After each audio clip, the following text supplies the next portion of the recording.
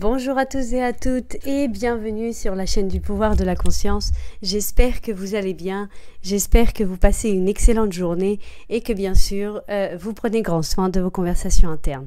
Alors aujourd'hui, euh, une nouvelle conférence de Neville Goddard qui me tient vraiment à cœur car la traduction de son titre euh, en français c'est Organiser vos conversations correctement. c'est exactement ce que je pense qu'il faut faire en grande partie, jour après jour, euh, tout au long de la journée, pour pouvoir manifester ce que l'on désire. Donc voilà, ce serait prendre grand soin de vos conversations internes. Avant de commencer la lecture, je vous invite à vous abonner à la chaîne si vous ne l'avez pas encore fait, partager son contenu aussi si vous pensez que euh, des vidéos peuvent aider des personnes de votre entourage, de votre famille, des amis, etc. Et sans plus attendre, et en vous remerciant de votre temps précieux, comme d'habitude, on commence avec la lecture. Organisez vos conversations correctement, une conférence de Neville Goddard.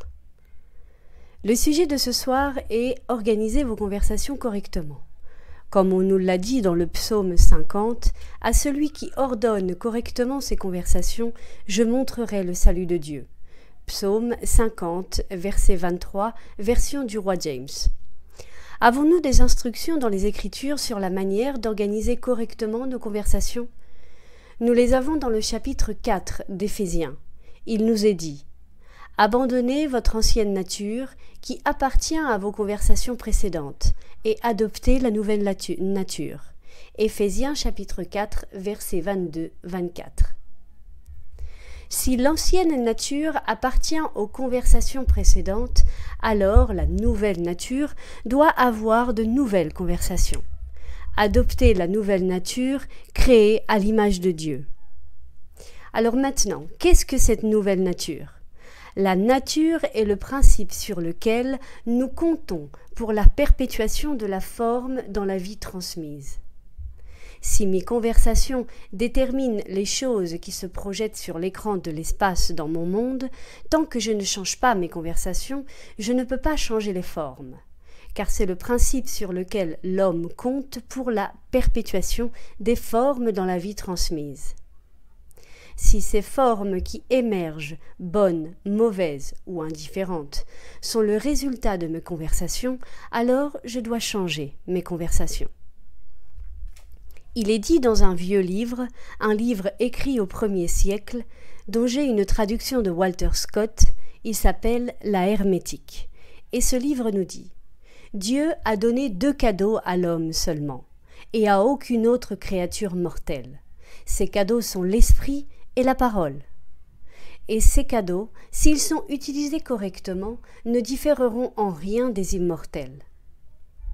Maintenant, lorsque l'homme quitte le corps, lorsqu'il quitte le corps, ils seront ses guides, et c'est par eux qu'il sera conduit à la compagnie des dieux et des âmes de ceux qui atteignent le bonheur. Seul l'homme a le don de l'esprit et de la parole. Je pourrais maintenant vous raconter l'histoire de la facilité avec laquelle cela peut être fait, mais je peux vous dire que le faire est vraiment difficile. Et vous pourriez penser Mais pourquoi? Bien sûr, je peux changer mes conversations habituelles, puis rester fidèle au changement. Mais nous sommes des créatures d'habitude. Ainsi, Shakespeare dirait dans Le marchand de Venise, où il met les mots dans la bouche de Portia. Si faire était aussi facile que de savoir ce qu'il faut faire, les chapelles seraient des églises et les cabanes des pauvres des palais de princes. Un bon prédicateur est celui qui suit ses propres instructions. Je peux plus facilement enseigner à vingt personnes ce qui serait bon à faire que d'être l'une des vingt à suivre mon propre enseignement. Dans l'acte 1, la scène 2. Donc, cela semble simple en surface, mais en pratique, ce n'est pas aussi simple qu'il n'y paraît. Mais si un homme pouvait simplement prendre une conversation interne et la contrôler, une conversation impliquant la réalisation de son rêve, et rester fidèle à cette conversation interne, ce dialogue interne contrôlé pourrait potentiellement être la conversation la plus fructueuse de votre vie. L'homme parle toute la journée en interne, Il peut réfréner l'impulsion de le dire à voix haute. Il peut avoir l'impression de le dire, mais il s'est cultivé. Il est une personne éduquée et il se sent restreint. Il pourrait avoir l'impression de vous dire d'aller au diable, mais il réfrène l'impulsion de le dire à voix haute. Pourtant, il l'a dit. Il est né avec cette impulsion. Si seulement je pouvais maintenant prendre mon objectif dans ce monde et oser croire que je l'ai réalisé, puis entretenir des conversations internes, des conversations basées sur cette supposition. Je mettrai cela à l'épreuve et le prouverai. Est-ce que cela apporterait vraiment un changement dans mon monde? Je vous parle de ma propre expérience. Cela le ferait, bien évidemment. Comme il nous est dit dans le livre d'Isaïe, chapitre 55, et je cite Ainsi en est-il de ma parole qui sort de ma bouche, elle ne retourne pas à moi sans effet, sans avoir exécuté ma volonté et accompli sa mission. Isaïe 55, verset 11. Mais vous direz que c'est le Seigneur qui parle, et bien sûr, le Seigneur peut le faire. Eh bien, Laissez-moi vous citer les dernières paroles de David, comme il est dit dans le chapitre 23 de Samuel 2, et ce sont les dernières paroles de David. L'Esprit du Seigneur est sur moi, et sa parole est sur ma langue. Deuxième livre de Samuel, chapitre 23, verset 2. L'Esprit du Seigneur, il n'a jamais eu cette révélation jusqu'à ce moment. Il réalise maintenant que tout le temps, tout ce qui était sur sa langue, c'était le Seigneur qui parlait. Le Seigneur s'exprime à travers ma bouche et sa parole est sur ma langue. Le mot Seigneur, comme nous vous l'avons dit précédemment dans cette série, s'il implique d'une manière ou d'une autre le sens de quelque chose d'externe, en dehors de votre propre être, vous avez mal compris le Seigneur. Si le mot Jésus-Christ implique le sens de quelque chose d'existant en dehors de l'homme, vous avez mal compris Jésus-Christ. Car Jésus-Christ est en nous. Et si il est en nous, et par lui toutes les choses ont été faites, et sans lui, rien de ce qui a été fait n'aurait été fait. Et il est appelé la parole de Dieu. Et vous comprenez que la parole elle-même a été créée par la parole de Dieu. Et David nous dit que Dieu est dans sa langue la propre parole de Dieu est dans sa langue. Alors on nous dit Je suis le Seigneur, il n'y a pas d'autre Dieu. En dehors de moi, il n'y a pas de Dieu. Ésaïe chapitre 45, verset 5. Est-ce vrai? Eh bien, vous et moi sommes appelés à le mettre à l'épreuve. Puis-je maintenant, en ce moment même, construire une simple conversation qui, si elle était vraie, signifierait que j'ai atteint mon objectif? Puis-je ensuite rester fidèle à cette conversation, ou vais-je m'en écarter? Eh bien, je vous dis que c'est très difficile. Cela semble si simple. Je pourrais certainement prendre une petite conversation entre un ami et moi, dans un dialogue, et lui dire que tout est comme je le souhaite, que j'ai cet objectif, et cet objectif, vous vous rendez compte que je l'ai réalisé. Tout est venu si simplement et si naturellement. Tout s'est mis en place. Pourriez-vous vraiment y croire? Eh bien, l'essentiel, c'est d'essayer. Voyez combien de temps vous pouvez maintenir cette conversation sans vous écarter. Je l'ai essayé maintes et maintes fois. Chaque fois que je réussis à la maintenir là où je le demande avec les mots, mais pour citer à nouveau Shakespeare, c'est une grande vertu, et celui qui peut le faire est une noble vertu. Suivre votre propre enseignement. Alors je peux vous enseigner. C'est facile, beaucoup plus facile d'enseigner à vingt ce qui serait bon à faire que d'être l'un des vingt à suivre mon propre enseignement. Mais laissez-moi maintenant partager avec vous une histoire que je connais bien, l'histoire de mon père. Il est né en étant un homme très pauvre sur l'île de la Barbade. Ma mère est née pauvre. Elle n'avait rien, lui n'avait rien. Et ils ont commencé à avoir des enfants. Douze enfants sont nés. Deux sont morts à la naissance, dix ont survécu. Il n'avait rien. Comment il a découvert cela, je ne le sais pas. mais la première fois qu'il m'a entendu parler à New York était un dimanche matin. Et quand nous sommes revenus à l'appartement, il a dit Tu sais, Neville, tout ce que tu as dit ce matin est vrai. Mais pourquoi dis-tu aux gens de fermer les yeux? Ne ferme pas les yeux. Garde-les partiellement fermés. Vous pouvez contrôler votre imagination et votre attention plus efficacement si vos yeux ne sont pas complètement fermés. Quand tu me vois le matin après le petit déjeuner, allongé dans mon fauteuil, tu pourrais penser que je suis simplement en train de cuver, parce qu'il boit. Vous pourriez penser que je suis simplement en train de cuver. Je ne dors pas du tout. Je fais mon travail de la journée, à ce moment même. Je mets devant mon œil mental les hommes avec lesquels je veux traiter ce jour-là. Je contrôle la conversation. Je leur dis exactement ce que je veux leur dire comme si c'était vrai. Je les laisse me parler. Je confirme que c'est vrai. Et puis, quand je suis complètement satisfait de ma conversation intérieure, alors je pars en ville. Et ça marche comme ça. Maintenant, mon père a commencé derrière la boule 8 du billard. Alors, petite parenthèse, la boule 8 était utilisée euh, pour signifier que l'on se trouve dans une situation difficile et compliquée. Ce qui se passe au billard, si vous faites tomber la balle 8, vous perdez, et si vous êtes derrière elle, euh, elle bloque le tir ou vous vous trouvez dans une situation difficile. Donc, en anglais, j'utilise cette expression être derrière la boule 8 que j'ai traduit euh, littéralement. Il avait lui-même, ma mère, ma grand-mère et nous dix à nourrir, plus quelques domestiques. Ce n'était pas facile. Mais quand il est décédé en 1959, il a laissé ses dix enfants, car ma mère l'a précédé de nombreuses années et il ne s'est jamais remarié. Elle est, décédée en 1941, il a dit Non, j'ai été tellement heureux avec ta mère, je ne pourrai jamais me remarier. Il est donc resté célibataire jusqu'à sa mort à l'âge de 85 ans. Mais quand il est mort, cet homme pauvre a laissé une famille de dix, chacun indépendamment aisé, non seulement collectivement. Il a donné à chacun individuellement un paquet d'actions dans l'entreprise, rien que pour nous dix. En 1951, cela équivalait à un revenu indépendant pour chacun de nous. Cela a triplé depuis qu'il nous l'a donné à sa mort en 1959, sous le contrôle de mon frère Victor, qui pratique la même chose. Victor ne fume pas, ne boit pas, mais il s'assoit seul et dans sa chambre.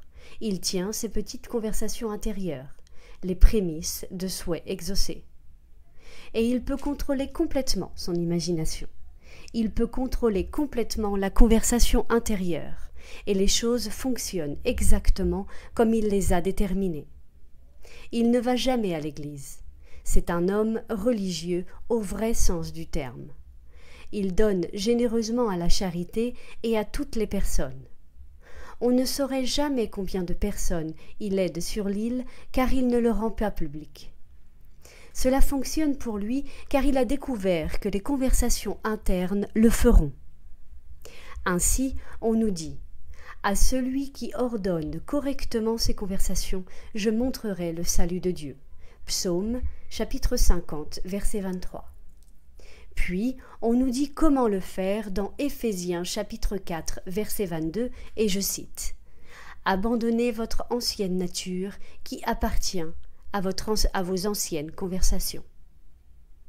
Et vous savez comment Jour après jour, il y a des gens qui répètent la même chose comme un enregistrement et quand vous les rencontrez, ils reprennent là où ils s'étaient arrêtés la dernière fois que vous avez parlé avec eux. Ils racontent la même histoire encore et encore. Elle est si méchante avec moi, ou il est si méchant avec moi. Et après une année entière, quand vous revenez en ville, ils reprennent là où ils s'étaient arrêtés. Et ils se demandent pourquoi tout cela m'arrive-t-il? Eh bien, dans le plus grand livre du monde, on nous dit pourquoi.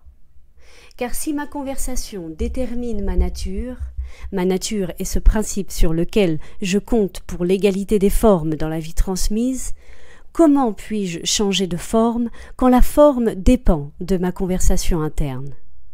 Donc, ma conversation intérieure détermine effectivement tout. Mais l'homme pense que c'était seulement un être extérieur, extérieur appelé Dieu, dont la parole ne reviendrait pas à lui vide. Qu'elle devait prospérer dans la chose pour laquelle elle a été envoyée. Voir Isaïe chapitre 55, verset 11. Car il s'est séparé de Dieu. Le nom de Dieu est toujours, pour toujours et à jamais, je suis. Il a dit c'est mon nom pour toujours, et par ce nom je serai connu à travers toutes les générations. Exode chapitre 3 verset 15. Eh bien, avant que vous ne receviez le nom de Jean ou de Marie, vous aviez le nom de Dieu. Le nom de Dieu, c'est Je suis. Cela devrait précéder le nom quand vous utilisez maintenant comme Jean, car je vous demanderai quel est votre nom? Avant que vous disiez Jean, vous direz Je suis et vous direz Je suis Jean. Donc, vous avez précédé le petit masque appelé Jean et vous avez déclaré que je suis. Eh bien, c'est le nom de Dieu. C'est donc de lui dont on parle dans les Écritures, dont la parole ne peut revenir vide, mais doit accomplir ce qu'il a proposé. Vous pouvez dire C'est si simple. Vous voulez dire que je pourrais commencer ce soir? Je ne vais pas à l'église. Je ne suis pas une personne religieuse. Je n'ai rien fait dans le monde. Mais vous voulez dire que j'ai ce talent? Est-ce de cet être dont Hermès parlait quand il a dit Dieu a donné un don à l'homme et à aucune autre créature, et ce don est l'esprit et la parole. Je peux parler et j'ai un esprit. Et ensuite, il me dit que la parole reflète l'esprit, et l'esprit reflète Dieu que comme l'homme est, ainsi est Dieu. Comme Dieu est, ainsi est l'homme. Et si Dieu reflète mon esprit, et mon esprit reflète ma parole, pour changer toute production dans mon monde, je dois changer ma parole. C'est simplement que l'esprit le reflète, et l'esprit reflète Dieu. Donc, mon Dieu revient alors à ma parole. Donc, je reproduis simplement dans la même vieille histoire dans mon monde quand je pourrais facilement changer l'enregistrement. En 1953, ma femme a eu une vision. C'était une audiovision. Elle a sauté du lit et est venue au salon. Je me lève toujours tôt. Elle a cherché un dictionnaire et a dit Je viens d'avoir la plus merveilleuse expérience. Je n'ai rien vu, mais j'ai entendu la voix la plus merveilleuse, une voix d'autorité, et la voix m'a dit Tu dois cesser de gaspiller tes pensées, ton temps et ton argent. Dans la vie, tout doit être un investissement. Donc, elle voulait voir la différence entre dépenser et investir. Selon la définition du dictionnaire qu'elle avait à l'époque, ça donnait un peu ça. Quand vous dépensez, vous donnez sans attendre en retour c'est une perte de dépenser. Mais quand vous investissez, vous attendez toujours un retour équitable. Vous devez cesser de gaspiller, et tout ce que vous faites désormais doit être investi. Et elle a, établi ce que sont ces choses, vos pensées, votre temps et votre argent. Ce sont trois choses que l'homme croit avoir en abondance, et il les gaspille matin, midi et soir. Il perd son temps dans des futilités, il perd ses pensées, il perd son argent. Donc, si cette vision était effectivement mise en pratique, et elle est la première à admettre qu'elle ne le fait pas, elle a été l'instrument à travers lequel elle est venue, mais elle serait la première à admettre que, éduquée comme elle l'a été dans l'environnement le plus conservateur, elle ne le vit pas vraiment, car elle mène une vie restreinte. Elle pense seulement à devenir une dame pour bien se comporter, je dirais ouvertement. Elle le ressent et c'est maintenant qu'elle envisageait de le dire, mais elle a réprimé l'impulsion. Elle l'a dit quand même, et c'est maintenant que son corps est un filtre émotionnel et porte les marques de, de ses émotions prédominantes. Tout au long de la journée, vous et moi faisons des petits mouvements subtils de parole. Ils se font à l'intérieur de nous. Nous ne les entendons pas audiblement, mais l'oreille interne les entend. Donc, je n'ai pas besoin de les entendre à l'extérieur, et personne n'a besoin de les entendre. Mais je vois les résultats dans mon monde. Tout mon vaste monde ne peut porter que ma parole. C'est ce que le livre enseigne. Je dois abandonner l'ancienne nature. Elle appartient à mes anciennes conversations. Et ensuite, il m'est dit Maintenant, adopte la nouvelle nature. L'ancienne nature appartient à mes conversations précédentes. La nouvelle nature appartient à mes nouvelles conversations internes. Puis-je adopter la nouvelle et la rendre si naturelle que je puisse faire avec elle ce que je faisais avec l'ancienne? Et puis-je maintenant changer complètement l'enregistrement et le répéter suffisamment souvent pour en faire une habitude en moi? Alors que je marche sur la terre afin que les choses dans mon monde soient parfaites? Ainsi les choses deviennent faciles. Ainsi, quand je lis le titre de l'effondrement de la bourse, cela ne me perturbe pas? Lorsque je lirai les titres annonçant que quelque chose part en vrille, cela ne me perturbe pas intérieurement. Parce que tout ceci est basé sur un principe. Peu importe ce qui se passe dans le monde, car le monde n'est que la manifestation extérieure des, des conversations des hommes et des femmes dans le monde. Si je change ma conversation au milieu d'une dépression, je réussirai toujours dans mon monde. Il y a des hommes aujourd'hui qui ont connu un énorme succès lorsque des millions ont tout perdu lors du crash boursier. Ils ne se soucient pas de la bourse, ils ne la surveillent pas du tout, mais ils doivent contrôler leur conversation interne. Je sais que dans le cas de mon père, il en était un exemple vivant. Mon frère Victor est un exemple vivant de cette technique. Mais je ne pense pas que mon père lui ait appris cela. Il l'a vraiment acquis naturellement. Car il m'a dit qu'il avait vu l'enseigne sur un bâtiment portant le nom de F.N. Roach Company et qu'il l'avait épelé J.N. Goddard Sons. Quand il en a parlé à ma mère, elle lui a dit Vic, ne le fais pas. Nous n'avons pas d'argent et cela ne fera que te nuire. Tu ne pourras jamais posséder ce bâtiment. Deux ans plus tard, le bâtiment était en vente. L'entreprise qui s'y trouvait avait fait faillite. Un parfait inconnu est venu. Quand je dis parfait inconnu, il ne nous connaissait que comme une famille, mais il n'était jamais venu chez nous prendre une tasse de thé, par exemple. Nous n'avions jamais été chez lui pour prendre une tasse de thé. Il n'était pas le compagnon de bar de mon père il ne le connaissait pas. Le jour où le bâtiment a été mis en vente, il est venu et a dit qu'il l'achèterait, qu'il l'achèterait pour nous.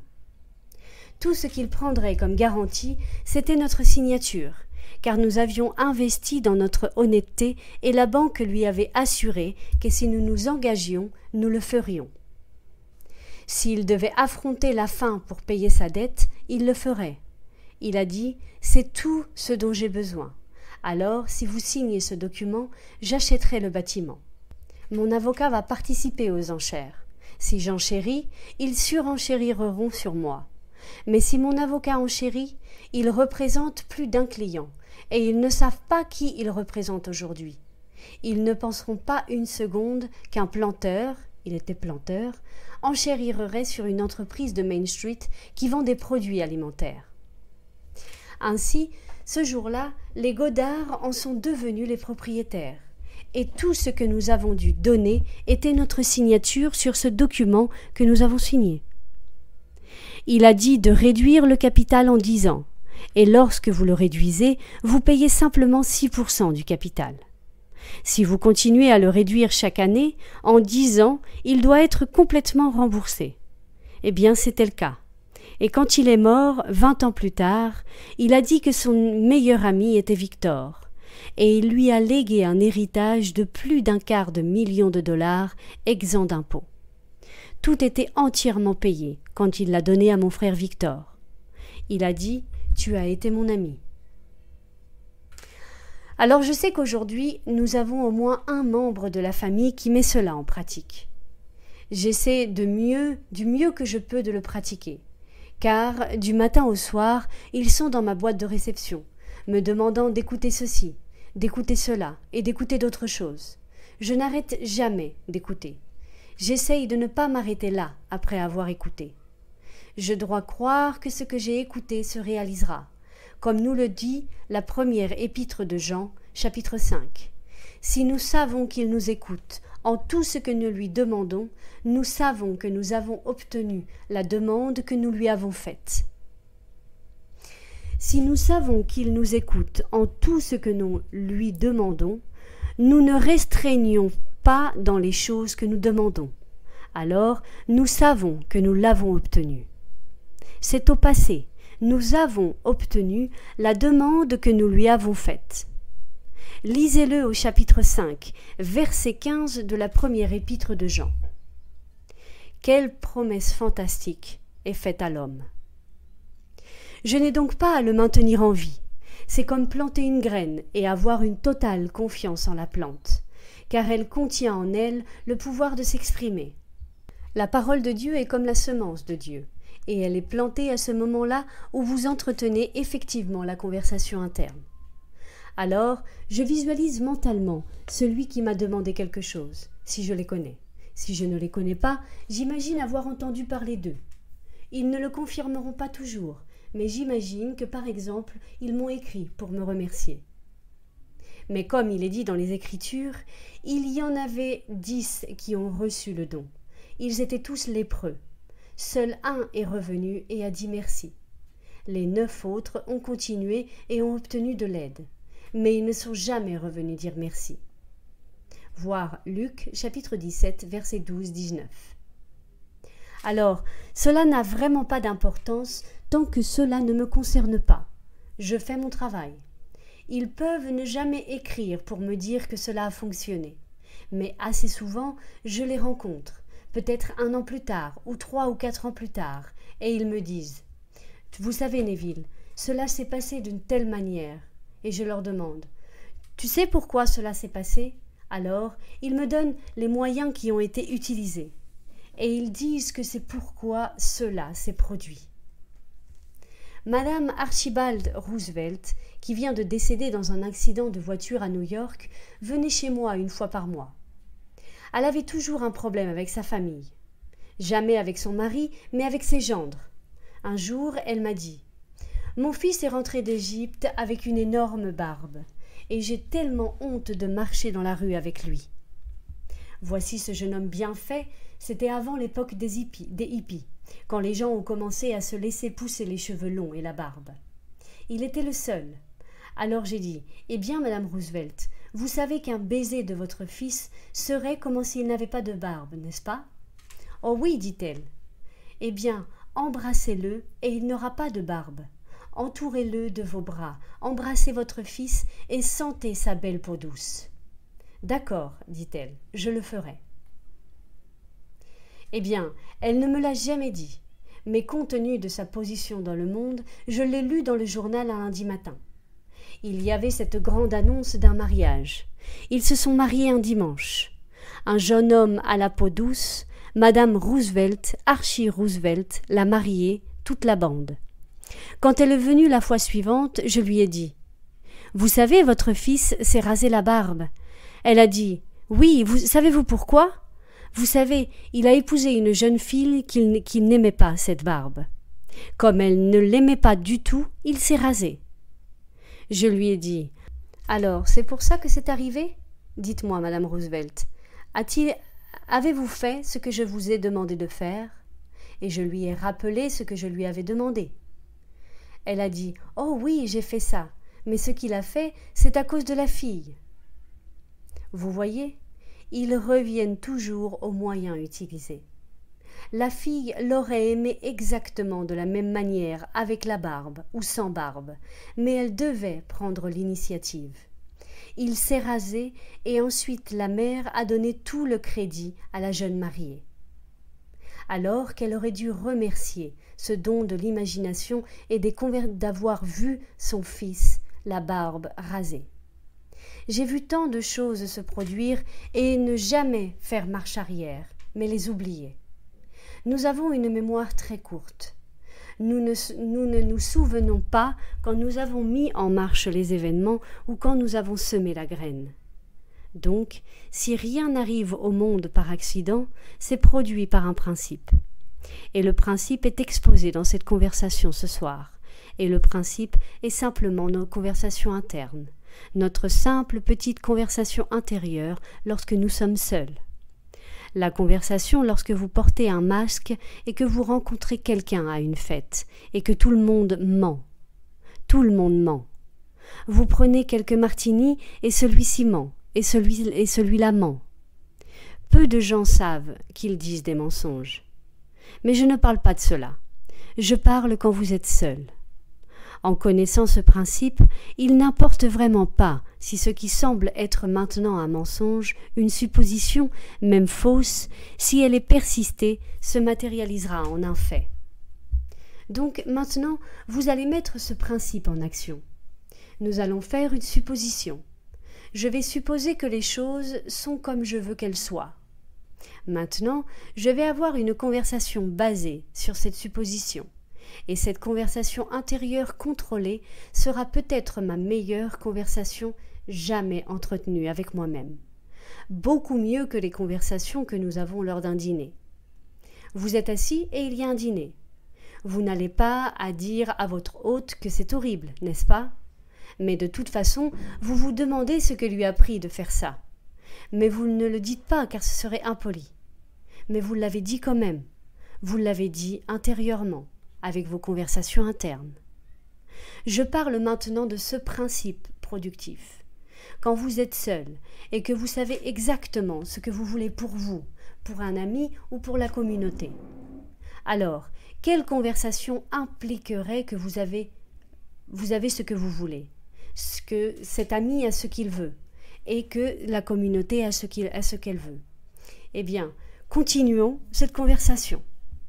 Si cette déclaration dans le chapitre 4 d'Éphésiens est correcte, alors il devrait être démontré en la vérifiant que si je laissais derrière moi ma vieille nature, qui fait référence à mes conversations précédentes, je ne la laisse pas seulement parce que je ne peux pas vivre dans le vide, mais j'adopte une nouvelle nature.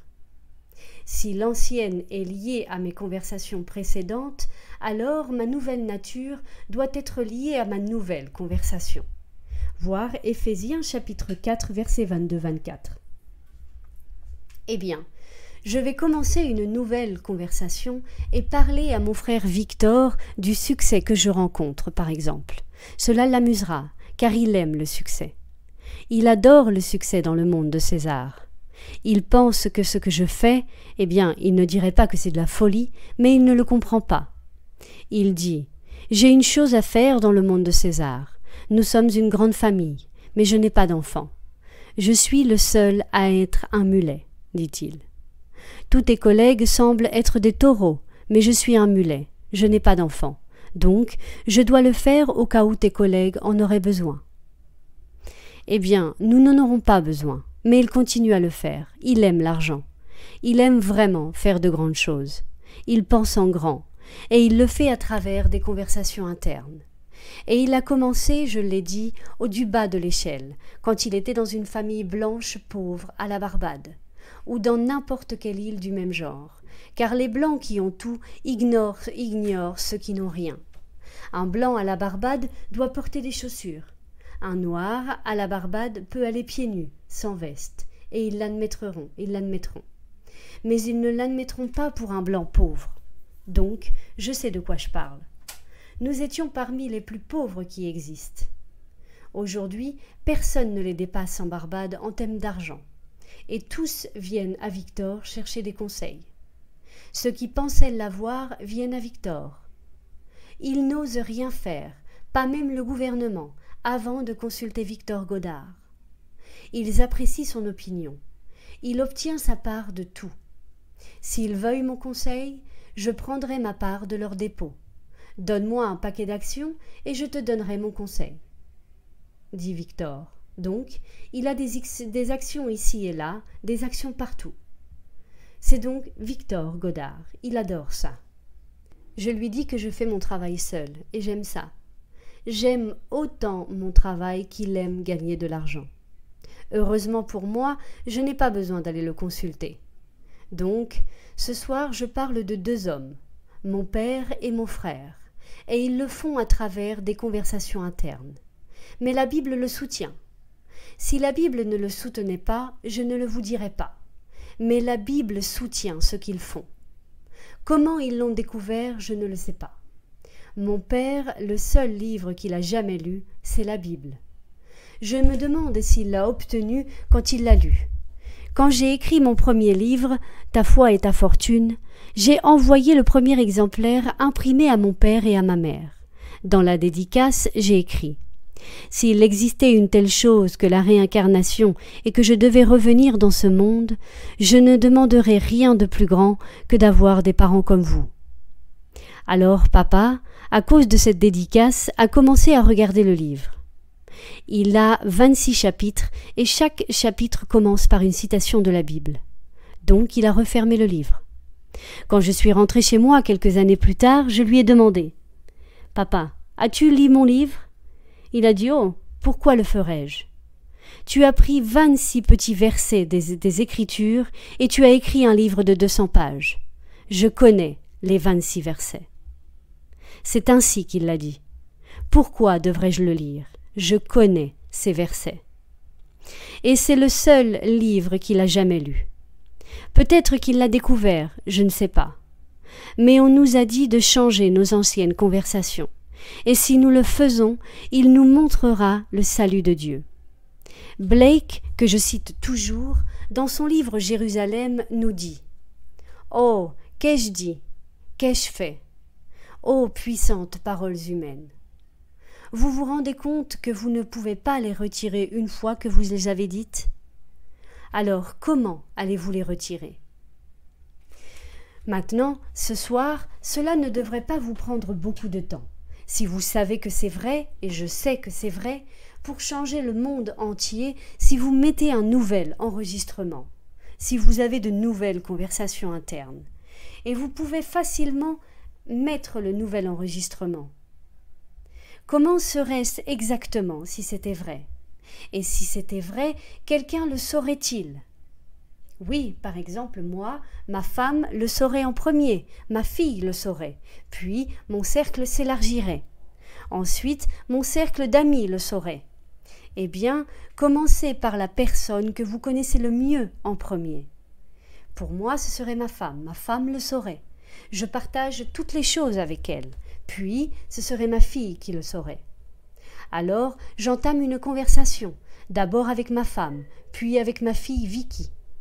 Et ensuite j'essaye d'en faire une conversation durable pour en faire une habitude. Au lieu de revenir à la négativité, faites une déclaration positive et essayez de la rendre si naturelle en vous que ce soit facile de choisir cet enregistrement et de le mettre et voyez comment cela fonctionne dans votre monde. Cela ne vous coûte rien. Ça ne vous coûte rien de le faire. Et ce que les Écritures enseignent. Et cela ne peut que vous revenir si vous savez qui vous êtes. Et j'essaye de convaincre tout le monde que j'y suis parvenu, que tout le monde que c'est Dieu, que vous êtes Dieu. C'est un choc pour eux, car on leur a dit qu'ils sont de tout petits vers. Vous n'êtes pas un petit ver, vous êtes Dieu revêtu d'une enveloppe charnelle à des fins éducatives. Mais vous êtes Dieu. Vous avez son nom. Il ne donnera pas son nom à un autre. Mais il vous fait passer à travers les fours de l'affliction pour recevoir son nom. Vous passez à travers les fours, comme Blake le dit dans la déclaration qui parle de ceux qui appellent Dieu un être inexistant. Il les appelle fous. Ainsi nous est-il dit dans le psaume L'insensé dit dans son cœur Il n'y a point de Dieu. Mais Blake l'appelle la folle Babel. Babel dit qu'il n'y a pas de Dieu, ni de Fils de Dieu. Que toi, ô imagination humaine, ô corps divin, ne sont qu'une illusion. Mais je te connais, ô Seigneur, quand tu te lèves devant mes yeux fatigués, même dans cette géole et ce moulin de fer. Tu souffres aussi avec moi, bien que je ne te vois pas. William Blake de Jérusalem. Vous ne pouvez pas voir dans votre imagination, et il équivaut l'imagination humaine au corps divin du Seigneur et au Seigneur. Ces trois-là ne font qu'un aux yeux de Blake. dans ce merveilleux poème Jérusalem. Ainsi, vous ne pouvez pas voir l'imagination, vous voyez les fruits de l'imagination. Et la voix divine répond Ne crains pas, voici, je suis toujours avec toi, même jusqu'aux confins du temps. Crois seulement en moi, car j'ai le pouvoir de, ressusciter d'entre les morts. Ton frère qui dort en Albion, Blake de Jérusalem. Alors qui est le frère? Vous êtes le frère, je suis le frère. L'humanité est Albion.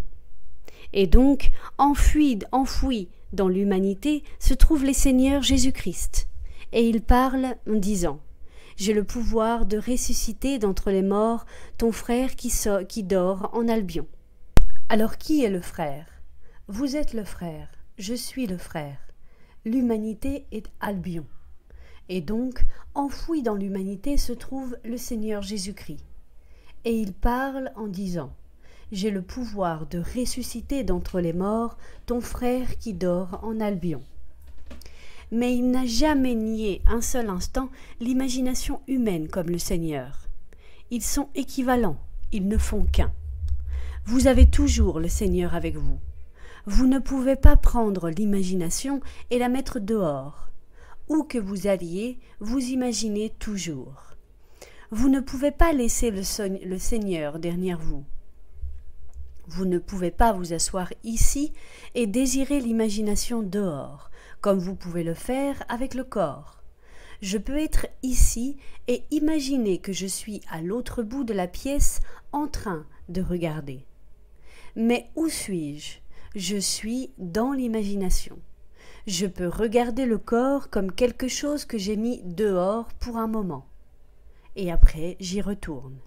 Mais je ne peux pas mettre l'imagination dehors.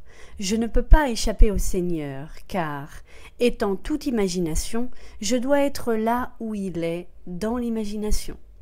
Si maintenant, dans l'imagination, je ressens les choses comme je veux qu'elles soient, c'est le Seigneur qui le fait.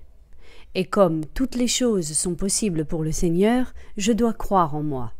Je dois croire que c'est le Seigneur qui le fait, comme on nous le dit dans les dernières paroles de David. Voici les dernières paroles de David. Le Seigneur est en moi, sa parole est dans ma bouche. Alors, il réalise que c'est pourquoi il a été victorieux. Il n'a jamais perdu un combat.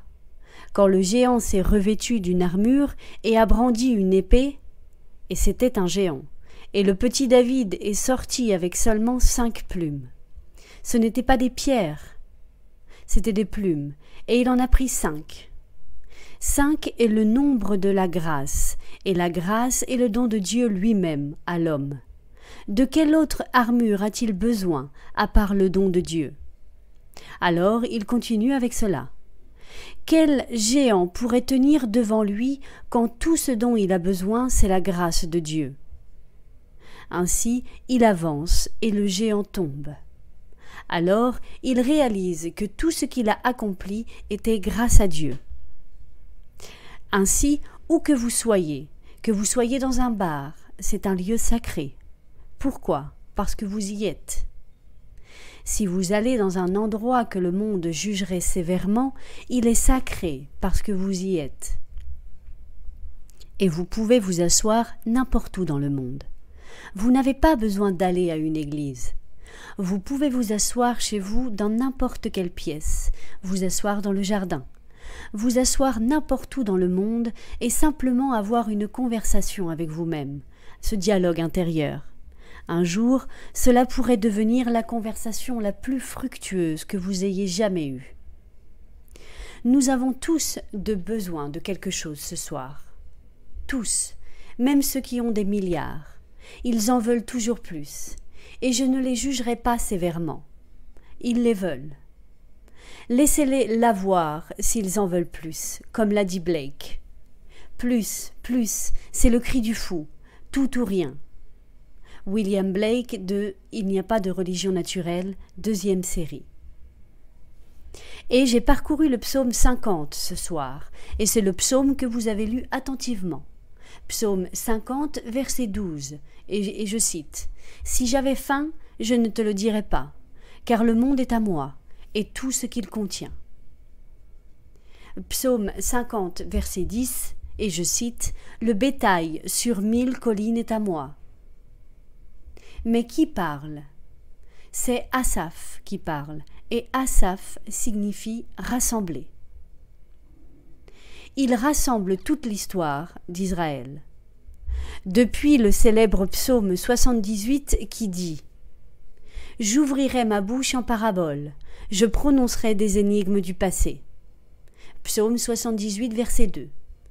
Et il rassemble toute l'histoire d'Israël, et malgré toutes les grandes choses que le Seigneur a accomplies, Israël s'est égaré vers de faux dieux.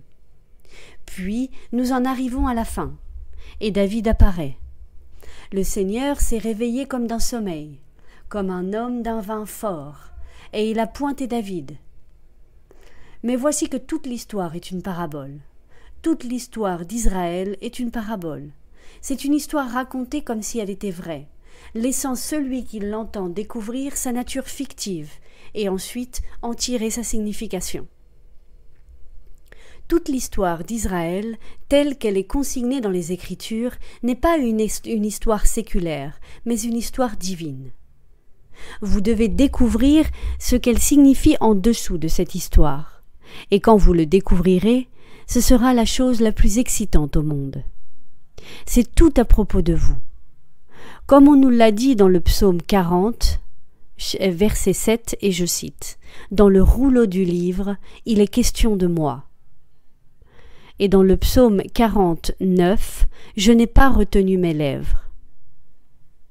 Je l'ai crié sur les toits quand j'ai découvert que toutes les choses étaient à propos de moi. Tout le livre parle de vous, la Bible parle de, vous, tout est à propos de vous. Mais c'est esquissé, tout est un brouillon.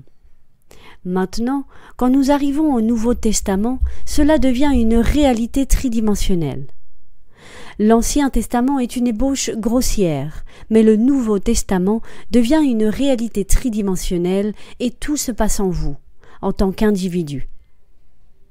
Donc, vous réaliserez que toute cette affaire vous concerne, dans toute la Bible.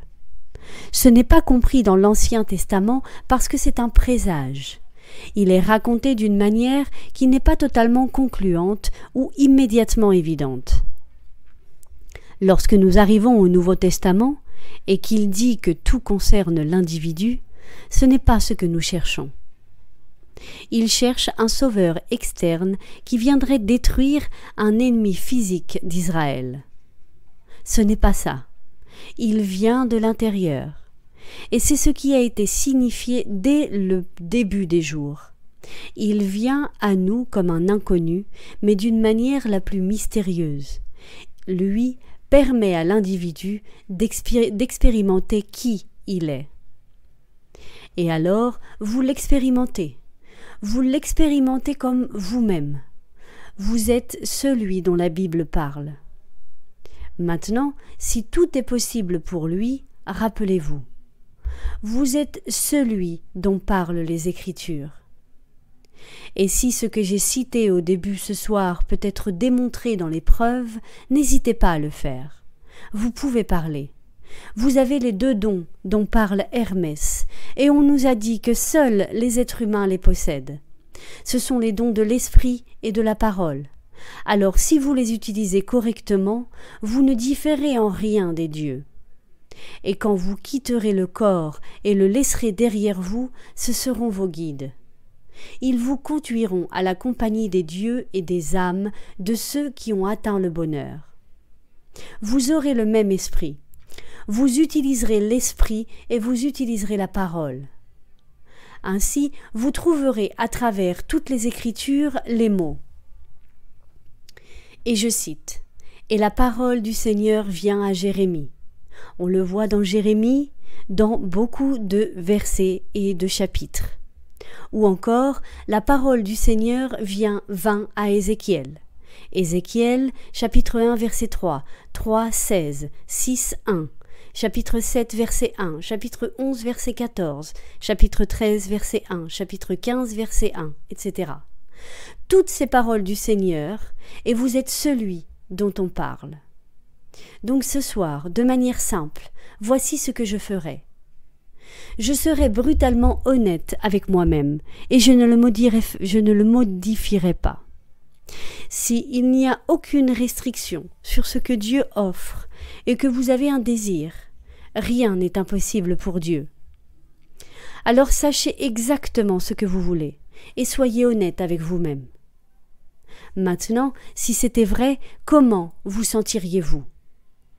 Et si, c'était vrai, pourriez-vous réprimer l'envie d'en parler? Non, vous ne pourriez pas. Vous devriez le dire, comme on nous dit dans Jérémie. Si je dis je ne le mentionnerai pas ou je ne parlerai plus en son nom. Il y a comme un feu brûlant dans mon cœur, enfermé dans mes os, et je suis fatigué de le supporter. Je ne peux pas. Eh bien, faites-le. Vous devez en parler lorsque vous découvrez un principe qui fonctionne et prouvé dans la pratique. Maintenant, ne modifiez pas votre objectif. Savez-vous ce que vous voulez? C'est bien. Maintenant, à que ressentiriez-vous? Que diriez-vous et à qui le diriez-vous? Maintenant, ayez cette conversation à partir de la prémisse du désir accompli et essayez de la maintenir jusqu'à ce qu'elle soit naturelle pour vous, jusqu'à ce qu'elle paraisse naturelle. Lorsqu'elle prend les tons de la réalité et la sensation de la naturalité, c'est que vous avez réussi. La chose fonctionne déjà. Vous pouvez la répéter encore et encore, comme vous le feriez avec un bon enregistrement. Si vous aimez la bonne musique, vous ne vous lasserez jamais de l'écouter. Vous pouvez la mettre tous les jours et plusieurs fois par jour et ne jamais vous lasser de la belle musique, si vous l'appréciez. Vous pourriez vous lasser du bebop, mais comment pourriez-vous vous lasser des belles pièces classiques? Je sais que moi, je ne pourrais pas. Donc je pourrais les écouter tous les jours, et c'est ce que je fais quand je suis chez moi. Nous mettons notre radio sur une certaine station et c'est 24 heures par jour de musique classique, avec très peu de publicité et un petit bulletin d'information de trois minutes chaque heure. Et ensuite, pendant toute l'heure qu'il reste, une merveilleuse musique de piano interrompue de 9 heures à 10 heures, de Beethoven, de Brahms et de Bach, pendant une heure. J'apprécie vraiment écouter cette musique, je le fais avec joie vous pouvez enregistrer votre propre enregistrement à l'intérieur de vous, et le faire, puis le laisser revenir dans ce monde en portant ses fruits. J'espère que vous me prendrez au sérieux. Vous n'avez rien à perdre et tout à gagner.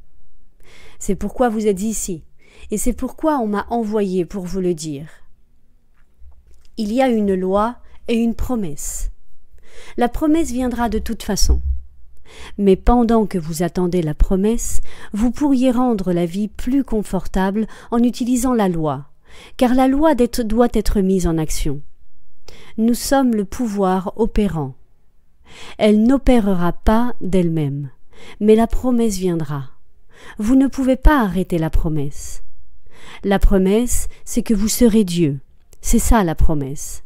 Un jour, vous vous réveillerez et vous saurez que vous êtes Dieu et tout le symbolisme qui le confirme sera devant vous, et alors vous serez qui vous êtes. Son Fils t'appellera Père, et vous saurez que vous êtes Dieu quand son Fils unique vous appellera Père. Vous saurez qu'il est votre Fils, et il saura que vous êtes son Père. Donc la promesse est en train d'arriver. Mais pendant que vous attendez la promesse, prenez la loi et utilisez-la. J'ai beaucoup cité ce soir euh, des choses sur la loi qui est les conversations internes. Utilisez vos conversations internes, car si vous le faites, vous aurez le salut de Dieu. Et comme vos conversations antérieures étaient liées à votre vieille nature et qu'il vous dit de la laisser, vous ne pouvez pas vous ne pouvez laisser la vieille nature qu'en abandonnant les anciennes conversations, car elles sont liées. Les anciennes conversations produisaient l'ancienne nature. Et si la nature est le principe sur lequel l'homme compte pour la perpétuation de la forme dans la vie transmise, la même forme sera transmise jusqu'à ce que vous changiez les anciennes conversations. Lorsque vous mettez le nouvel enregistrement dans votre esprit, les nouvelles conversations, vous changez votre monde, et les gens vous rencontreront et vous demanderont ce qui vous est arrivé. Pourquoi se comporte-t-il maintenant de la manière la plus merveilleuse? Tout lui réussit. Pourquoi? Parce qu'il a changé sa nature. Comment l'a-t-il fait? Il a changé ses conversations internes. Mais vous savez, il y a des gens mon esprit retourne à la guerre euh, précédente, la Seconde Guerre mondiale, et ce jeune homme, un bon gars, juste un enfant, m'a dit assez innocemment qu'il détestait tellement Roosevelt qu'il l'insultait pendant son rasage le matin. Il lui disait exactement ce qu'il pensait de lui en criant. J'ai dit Pourquoi fais-tu cela Ne sais-tu pas que tu ne te fais du mal qu'à toi-même? Et il m'a répondu Je le sais. Mais oh, si je te racontais combien de plaisir j'en retire. Vous savez, il ne le changerait pas. Il détestait tellement cet homme, il ne connaissait pas Roosevelt, il ne connaissait aucun membre de sa famille, mais il ne l'aimait tout simplement pas. Et intérieurement, ce n'était pas à propos de M. Roosevelt, c'était à propos de lui-même. Et il savait ce qu'il faisait.